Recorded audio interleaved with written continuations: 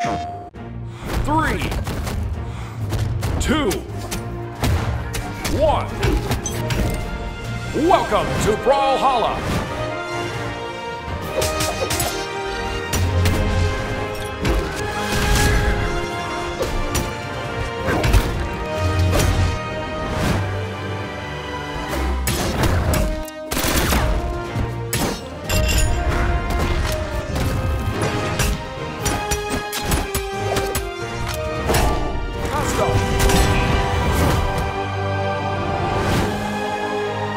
They are the best 2v2 team in the world.